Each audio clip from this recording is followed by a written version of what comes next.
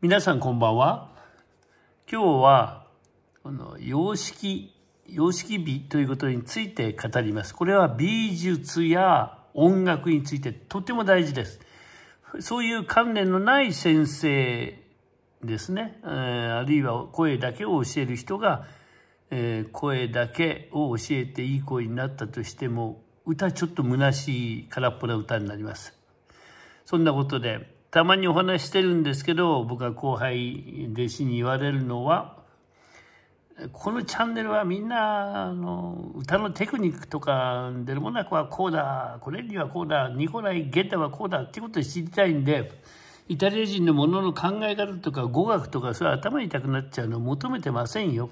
回数少ないでしょって言われます。だから必要だから私はやる。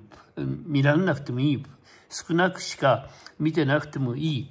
これをやらないから日本人の歌はいつまでたっても変なかなって思うんです。その証拠にこれ、フォーク、洋食の時のライス、ご飯って言わずにライスは、この上に乗せる、背中に乗せるのか、こっちに乗せるのかっていうサイトを見ただけで何十個もこれが正しいとか、どうして僕たちはフォークの背中にご飯を乗せるんだろうか。これ皆さんどっちが正解だと思いますか？ある決まった立場に立てばこっち、違う立場に立てばこっちというものはあるんですよ。ですが、こう日本人は自分がどういうふうに食事をしたいのか、あるいはフォークとナイフは我々日本民族のものではないがそういうものを使う人は米を食べる時どのようにするんだろうか。というあの展望がなくて正解はどっち？これがまずいんです。音楽にもよくあるんですけどこれがまずいんです。自分はどちらの立場に立ったからこっちの方がより良いこういうことが自分の中の現時点の答えなんですね。そういう答えを 見つけようとしたり本当の答えはどうなんだろうっていうことじゃなくていいんだよどっちか知れれば。はい。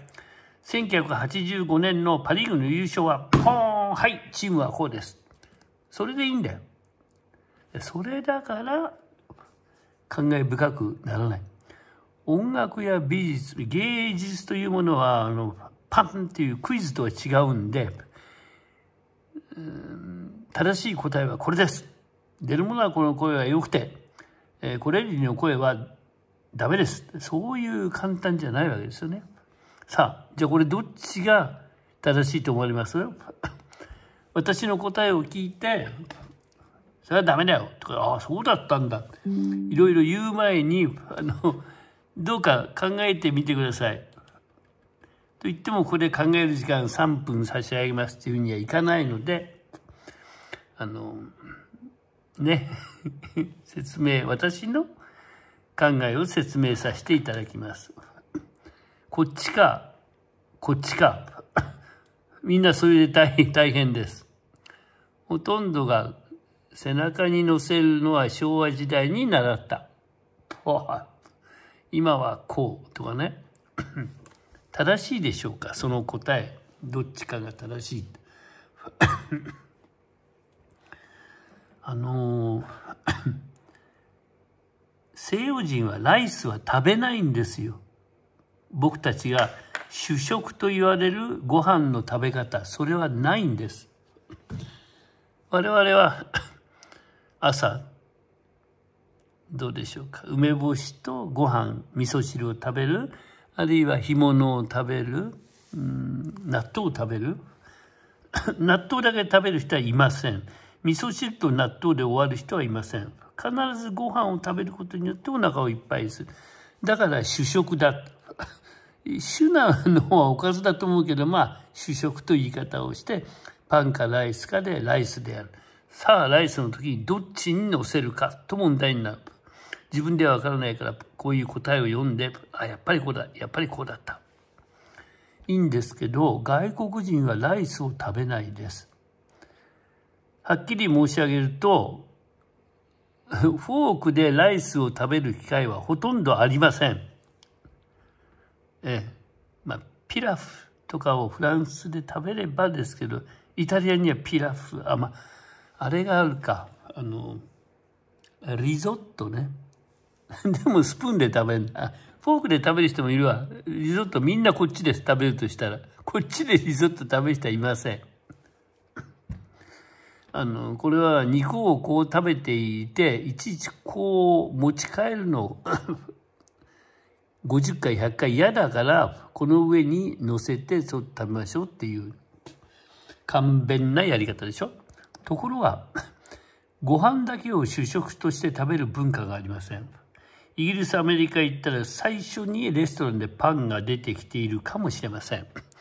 そのうち 最初のオードブル出る前にパンは引き上げられちゃいますよ。あ、あ、あ、これから次の次に肉が出てくるのにパン下げちゃったよ。あら、嫌味か。人種差別か。なんて言っちゃダメです。主食、パンとかあるいはライスを肉と一緒に食べないんですよ。肉の付け合わせはマッシュルームとかガルニというあのフランスじゃない。人参のバターとあの砂糖でにちょっと似たものとか。そうでしょ？マッシュルーム。あるいはフライドポテトとかで。そこのステーキが出てきた時にご飯を一緒に食べないんですよ。だからご飯をどっちに乗せるか。この質問自体が実はあまりに日本的であったということですそういう歌歌ってませんか？っていうのが私の問いですそれどこが悪いんだよ？って言われれば、はい。そういう方は、それでご自分の、あの、センス守っていっていいんですけど、我々はイタリア語をまず、きれいに喋れない、イタリア語で発想できない人が歌をやり始めるわけです。始める時にはそうだ。イタリア人は頭の中イタリア語になってて、あの頭悪い人もいい人も全部イタリア語で喋ってて猫も犬も休館中もイタリア語で話すとあの、しとは言わないけど、ワンワン、ニャーオって、お前そこにいるんだよ。スタイジッタ。プレゴ、プレゴや、ウンミヌート。ノミャーゴラーレ。とか言って、イタリア語で教育してる。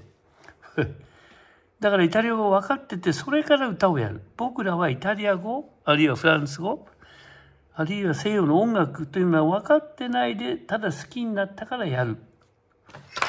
こっちですか？こっちですか？っていう問い自体が違ってた。ご飯を主食として食べない。肉を食べる人は。まあ、イタリア人は日本人とそこは少し似ていて、まあ、イタリアも日本もあの戦前貧乏だったわけなんで、なんとか肉ではなくて、あの、麦とかですね、小麦粉、まあ、パスタ、米、リゾット、そういうもんでお腹をいっぱいにしたいと。いうことなのでそういうパスタ小麦粉やたまにごくまでに米の文化があります。アメリカイギリスないですよそれ。だからライスを頼む時どっちにしますか。ライス頼まないんだよ彼ら。この質問自体が間違っていた。どっちかに答えを決めたい落ち着きたい。あ君はあ A 型 A 型ね血液が。だからそうなんだ。と落ち着きたいんです。僕何型だって聞かれることありますので C 型ですって。ん？ってね別に言いたくない。そのその聞いた人のあだからやっぱりそうだっていうのに乗りたくないんです。まあそういうことでこれはご飯食べないから主食としてどっちかは意味がないのまあ出てきたら食べる方で食べればいい米だってライスプディングってデザートになるんですからねイギリスでは。さあまあここここれ僕知った時は驚きの事実だったですよね。なんだかんだってマナーだとか言っておいて マナーって怪しいです。そうじゃなくて様式の美様式ってあのあれですよ。西洋東洋の様式じゃなくて様式。あり方ですね。あの様式美っていうのを英語にしたら多分 beauty of style スタイル。の美しさなんですよ。その場合スタイルはフォームと言ってもいいしパターンと言ってもいいですね。パターンとかフォームあのそれからスタイルの美しさ。 beauty of style でスタイルはイタリア語で stilo。ですので bellezza dello stilo。stilo ですね。これがあの様式美というイタリア語です。 bellezza 美しさ。 dello stilo dello は「の」ですよね。 stilo の stile のあの美しさ。ということで。 style。stile。似てますよね。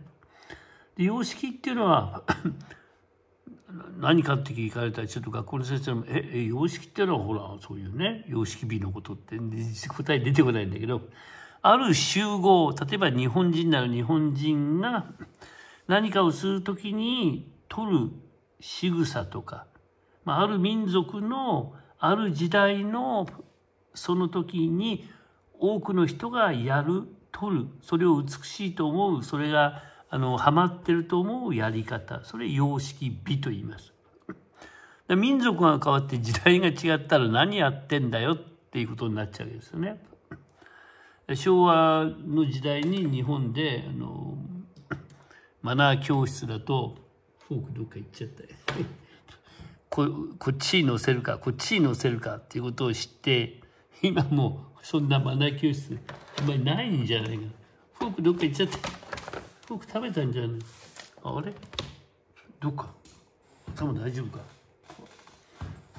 まあフォークがなくてもいいか。様式の美しさこれが音楽に通じてくるんですけどもうちょっとこの話させてください。音楽じゃないからなんで今日も外れかよって思わないでね。これで感じて目が開く人が何人かいればいいと思ってお話をしてます。これ何？カフェラテカフェオレカフェラテ。コーヒーに牛乳入れるやつ。カフェオレカフェラテ。こんなねあのバリスタ。バーでバーっていうのはこの酒飲むバーじゃなくてイタリア語でバーバールっていうとコーヒー店ですね。もちろん酒も出ますけど ソフトドリンクのことが多いかな。カフェラテ。カフェコーヒーにラッテに書いてある。ラッテ牛乳を入れたもの。日本人の女性はね食後カフェラッテが多いです。本当に夜でも。しかしイタリアではこれ午前中にしか飲まない飲み物です。あの午後夜飲んだら法律違反だ。そういうことじゃないんですよ。みんな飲まないからカフェラテカフェオレくださいって言うと「し OK」って言いますよ向こうは。職業商売ですから。でも 日本人どうして飲むのっていう。それは彼らの様式美とは言わないけど様式が朝しか牛乳は飲まないんです。カフェラテじゃなくて牛乳が昼を超えて飲まない。それはどうしてでしょう？その様式美どうして？さっきのようにご飯食べる食べない。あった。フォーク。効果。効果。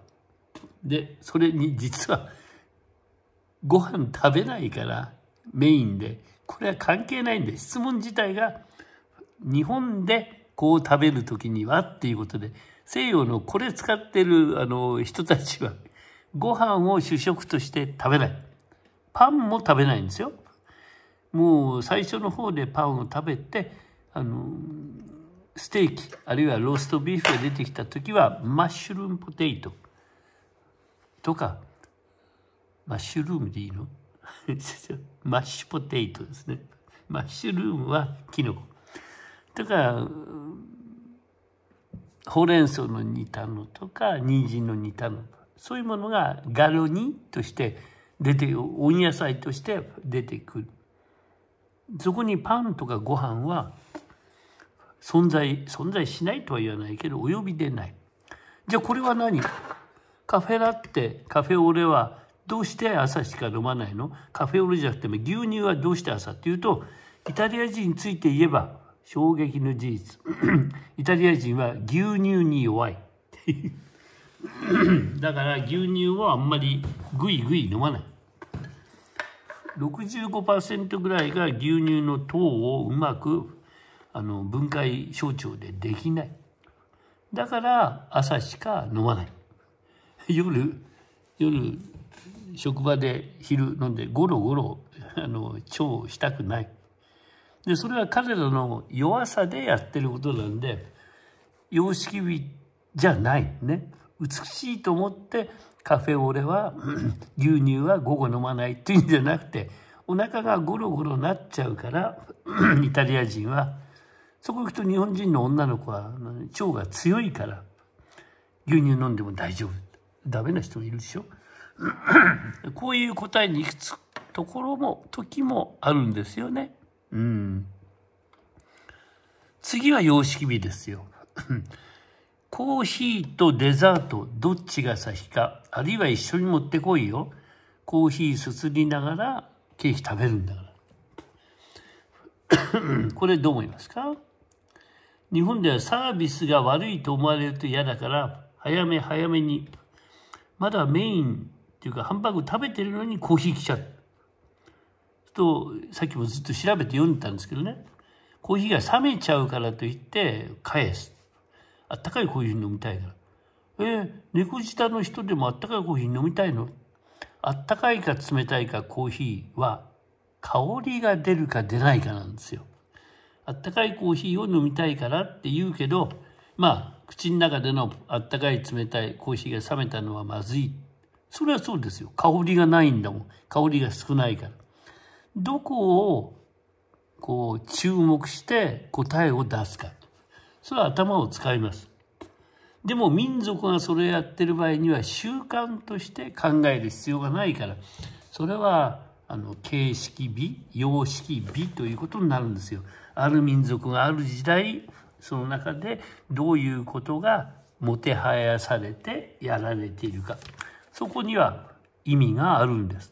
音楽ももうちょっとしたら言いますけどそういうねあの100年前のエンリコ・カルーゾの歌と今の世界的な有名な人の歌は違います。それは時代が違うからです。イタリア人もエンリコ・カルーゾのように今歌いません。ティート・スキッパーのように歌いません。ティート・スキッパーは古いって言われてる。僕は古いと思わないね。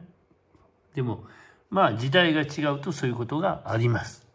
ということですね。様式美っていうのは、ある民族、ある集合、ある時代、そこでもてはやされていいと思っていたもの。じゃあこれデザートどうなんだよ？これは100年、200年以上変わってないんじゃないですか？デザートが先です。日本は違ってます。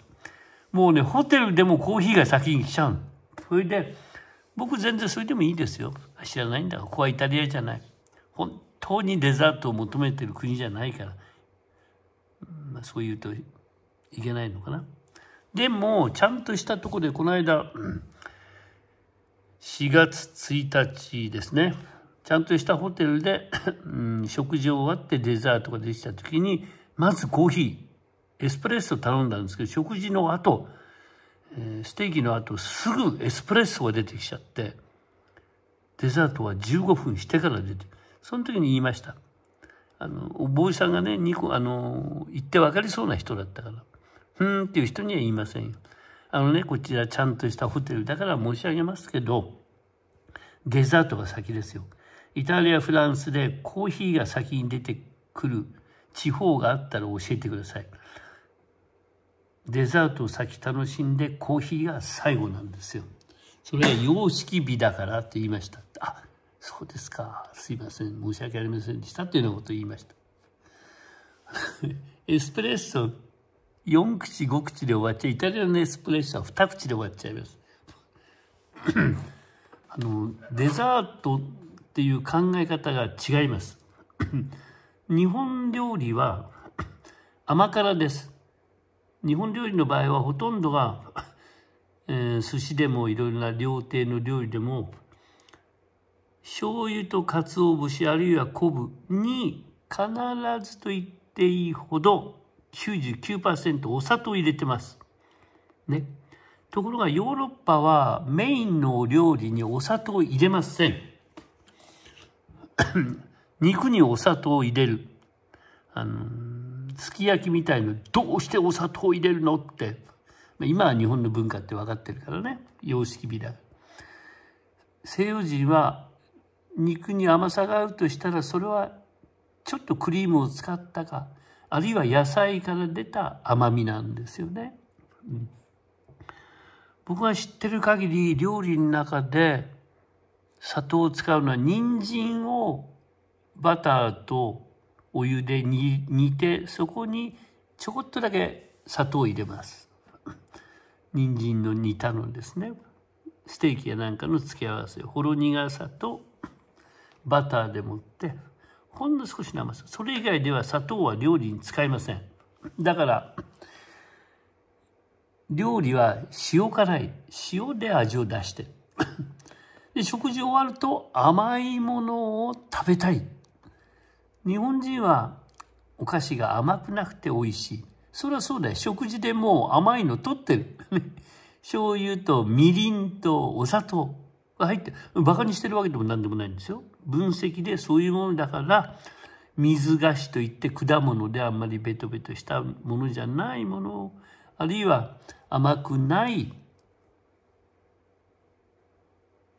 何かデザートちょっとした柚子のアイスクリームとかねきな粉のアイスクリームとかあまり立体的でこういう卵とかあの入ってないものが好まれるそれはそうだ。でも彼らは食事の中で砂糖を取ってないからまとめて砂糖を取りたいし大きく取りたいこんな日本人の4倍も出してきてって言うけど彼はいっぱい食べます僕の食べる分量は多分どうだろうイタリア人の10歳ぐらいの人が食べる分量なんじゃない？胃が小さいし食べる習慣がない。そういう様式美がない。だから日本人は長生きですよ。痩せててね。100キロ超の男の人、女の人も街を平気で歩いてます、イタリアでね。そういうことあんまりないですね、日本ではね。食べる量が少ないんです。まあ、それはさておいて、ですからデザートを食べた後に最後に胃胃袋に消化するんだよっていう刺激を与えるためにコーヒーを飲むわけです。コーヒーのほろ苦さこれでもってあの胃袋にねちゃんと働いてね、まあ、もちろんケーキが甘いからその甘さを吹っ飛ばす意味でもこの苦さ酸っぱさのコーヒーが必要ということです。ね、そういうふうに考えるとそれはそうですよ。抹茶の時だって抹茶飲んだ後にお菓子食べる人はいない。様式が決まってるから。あんまり甘くない小さな手のひら、手のひらの何分の1かのお菓子を小さな口にポッポッと入れて、甘みを口の中で食べて喉を通ったところに渋い抹茶を飲む。それで終わるわけですよね。ヨーロッパもそれなの。そんなことです。これが様式美というやつですよね。あ、また、またラグーでちゃった。まあいいや、これね。もうさっきの様式美のとこで終わってけいい。どういうところ、どういう流れで今この歌が歌われているのかという様式、流れに沿って歌わないと、大体 オペラ歌手、大体テノールというものは世界的な人でも声バカです。だから例えばよく誰でも知ってるケジェリダマニーナあなたの冷たい手を私が温めましょうって言うんだけど ちょっと声がある人はいい声を最初から聞かせたい。だからケジェリダマニーナセララシーリスカルダー。こういう歌いっぱい聞きました。これはちょっとやばいですよ。あなたの耳をナンパする引っ掛けようって歌なんですね。ジェリダムに。で耳はちょっと病気だし手を触ると手が冷たかったので手を触るとホルンがアスラベモルによってプンって耳の驚いた心臓のような音を出してそこにその音の5拍後、ブンっていう後の、その同じ1個の音のホルンの伴奏に乗せて、ピニサンシゴケッジェリダマニナ。あの最初もうそこでケッジェリダマニナって分かってるからケッジェリダマニそんな声ではっきり歌わなくてもケッジェリダマニナって歌えばみんな分かってる。そこはね。有名なとこだから。ケッジェリちょっと驚くわけですよえなんと冷たい手？僕に温めさせてくれませんか？ね。チェカルケ城。鍵を探しても無駄ですよ。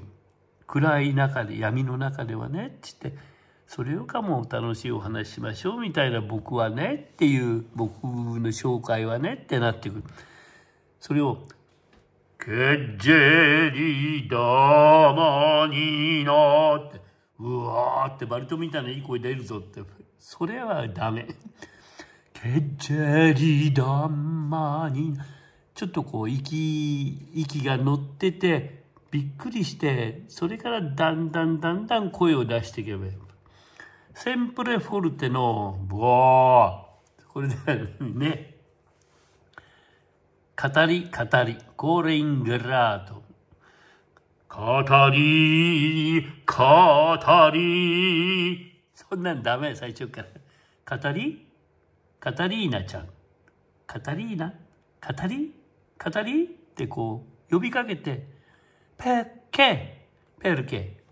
どうして僕にあの時昔愛の言葉を語ったの？好きになったでしょ？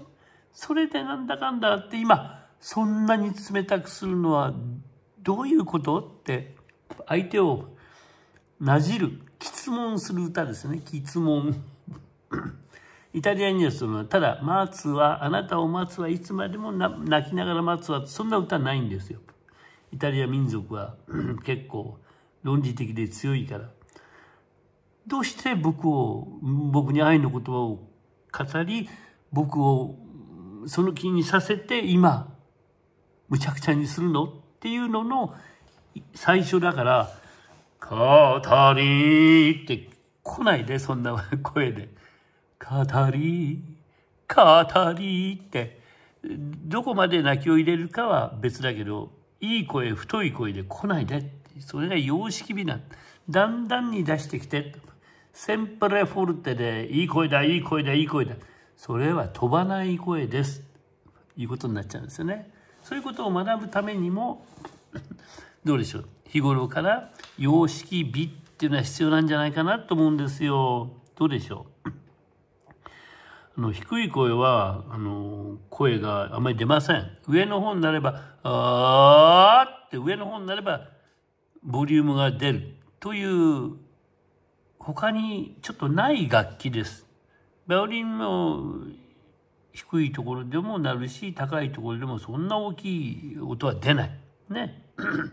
まあ管楽器がそれにちょっと正確に似てるかもしれないけど 昔 まあ、ポピュラー歌手ですねポピュラー歌手が「マンボマンボウ」って歌を歌ってたその歌手はうまい女の人だと言われてたけど「マンボマンボマンボマンボウ」って最初のマンボウが聞こえないの。マンボウマンボウそれは低いからそれはそうだ。マンボウマンボウマンボウマンボウそれ何回も聞いた。最初の、マン、マン、マン、で、マンボウってその 2回目のマンボウ、マンは大きくなってるから、まあ軽音楽だからいいかもしれないけど クラシックであの上だから出る下だから出ないっていうやり方をしてると表現にならない。下でも出す。上でも上では声が出過ぎないように抑えるテクニックを持ってないと綺麗にならない。だからマンボウマンボウっていう人は下は喋ってマンボウマンボウマンボウマンボウっていう最初のマンボウをあの大きな声っていうか喋る。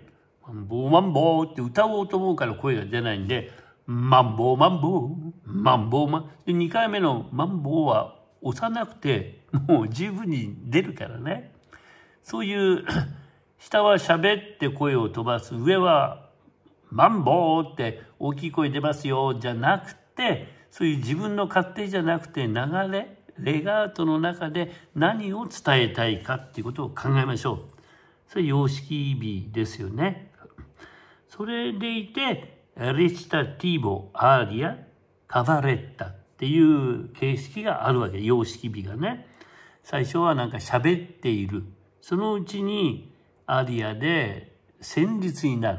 アリアが歌って拍手が来てちょっと休んだと思ったらタラランタンティンタンタンタラランタンタン早くなって盛り上がるそういう形式がイタリアオペラですね。まあプッチーニになっちゃうとあんまりそれがなくなっちゃうんだけどジュゼッペ・ベルディまではそういう3つのねレチタティーボレチターレは芝居をする。だから話す。でアリアは歌うですね。そしてカバレッタという、まあ、様式美があるわけですよね。そういうことをやるにもやっぱし 違うもののようだけど、まあ、これカフェラッテは違うのか。何がそうなんだろうって ラグーが出てきちゃったミントソースがね。あのデザートがいいね、デザートこうだからこうこうっていう理論じゃないけどそういうねありますよね。日本人はお尻のポケットに財布やスマホを入れます。イタリア人はまずやらないと思います。そこ見てないから。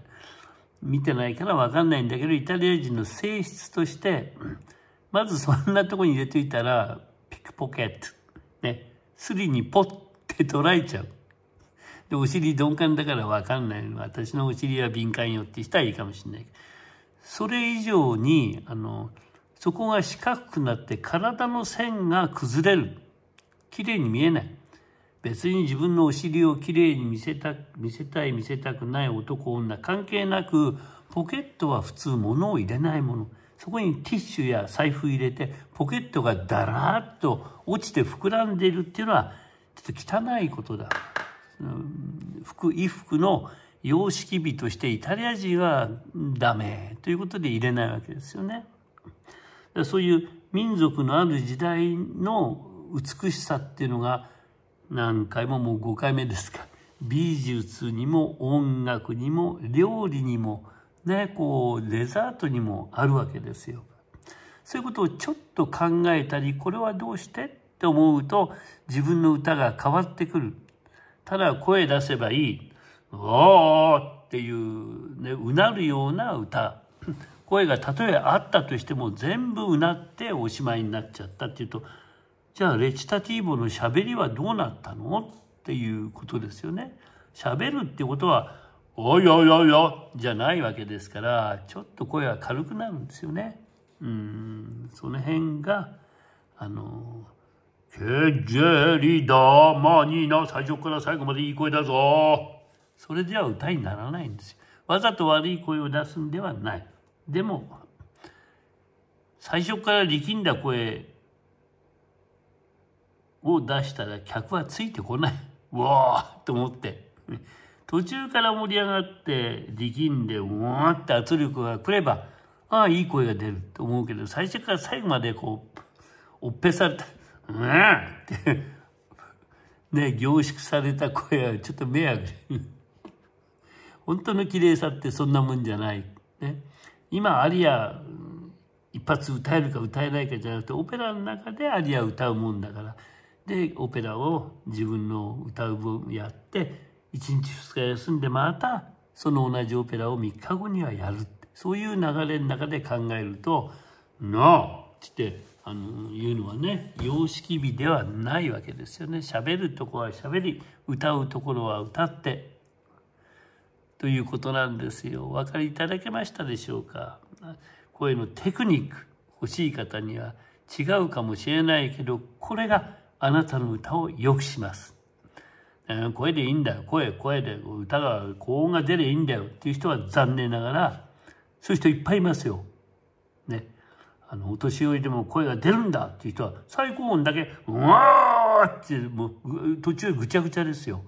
でみんなあのあの年にしてこんだけ歌ってんだからって「わブラボー!」って言うけどそれでいいんですか？ってそんな力まなくたっていいしもうちょっと綺麗な音楽を聴かせましょう。プロだったら。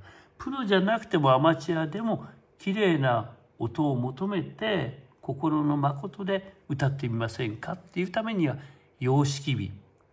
うわーって全部声を鳴らさないでたまに引っ込めたりたまにほわって軽く出したりすることを混ぜていったらどうでしょうかっていう様式の美しさ。 bellezza dello stilo、beauty of style というようなことを他の例を入れながらお話ししました。